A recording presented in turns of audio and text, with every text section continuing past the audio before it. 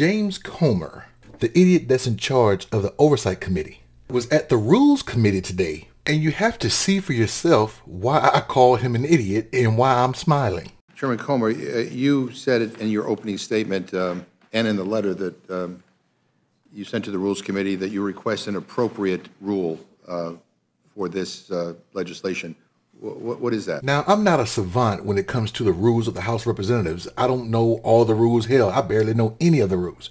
But here are some of the rules and what they mean right here. So pause to read the types of rules. So congressman wants to know what type of rule he's talking about when you talk about these four types. Open, modified open, structure, or close. And I'm guessing in this context, there's no such thing as an appropriate rule.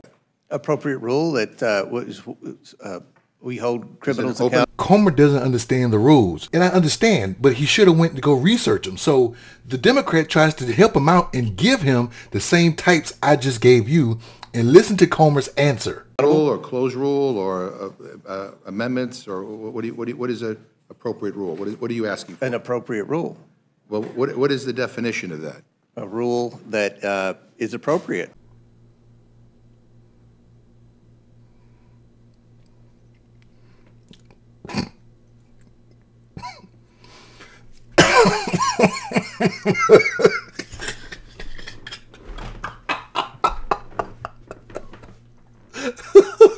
He knew that sounded stupid, so he tried to loud talk and clean it up. He tried to square that circle quick. a rule that uh, is appropriate. Uh, This is a rule that, this is the Rules Committee. We want an appropriate rule to go on the floor what's to your- where we what- can do our job and hold uh, your criminals opinion? accountable. Now, when you're dealing with Congress and the law, words matter. So the Democrat is trying to narrow him down and say, okay, you put appropriate in your letter, in your opening statement. So just define what an appropriate rule is. He even goes so far as to say, is it one of the four types of rules I gave you? Open rule, modified open, structured, or closed? He tried to help him out and say, okay, which one is it? Put it in your letter and you put it in your opening statement. What is your opinion of what an appropriate rule is? I mean, would an appropriate rule be a close rule? at this point, Comer knows he's beat. He know and he's sick of this. So listen to his answer. Whatever the Rules Committee deems appropriate.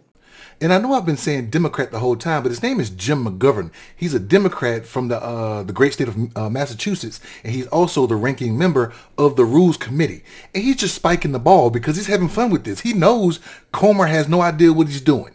I asked the question because you used the word appropriate. You could have just said, I request a rule, but you said an appropriate rule, and maybe, the maybe the chair of the, of the Rules Committee can tell us what an appropriate rule is. Um, I- I'm not, I, I, my Republican friends like to use that, but um, I, I don't, no one can define it for me. I mean, I don't know what, maybe it's hiding behind a, one of the statues in the Capitol or something, we can go look for it, but Why do we send people like Jim Comer to Congress? Why am I in this room? Why haven't I run for fucking office yet?